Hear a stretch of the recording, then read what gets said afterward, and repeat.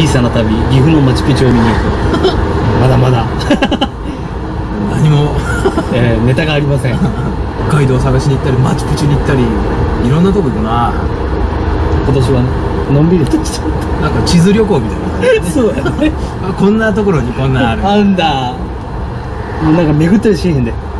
行かへんもんね場所これを制覇しようみたいなことしへんで。やっぱり原因としては。は元気かな。い元気疲れですか？元気疲れっていうかちょっと自分の中で薄々思ったのはあそこまで高山とか飛騨の方行って、うん。一発で終わっちゃっていう終わっちゃったっていうあなんかうえってこの感じ。終わっちゃったか。らああの 63? え？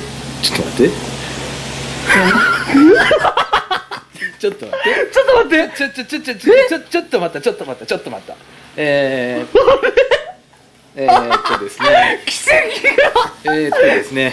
えー、えーっと終了です。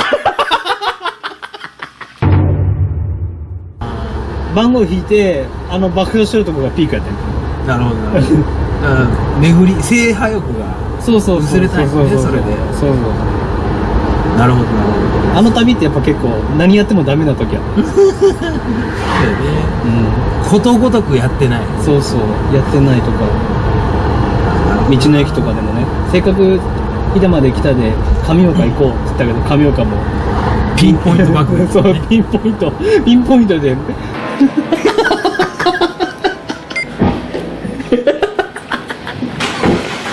じゃあ締めをまずねやりたいと思いますけどね。あれだつ辻さんがめげた瞬間やあのー、そうなんかを制覇するとかっていうことをあまりしなくなった。ちょっとやちょっと休憩しよう。だから旅疲れをしちゃったみたいな。制覇酔いをね。そうそう。元気酔いがね。そう。それがちょっとね見える。元気あたりがうん。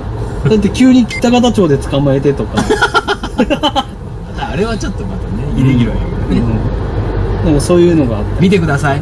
た 宣伝会、ね 一番面白いです。うん、あと君の罰ゲームやったりとか。罰ゲームね。うん、あとほら北海道が探せとか企画に沿ったものとか。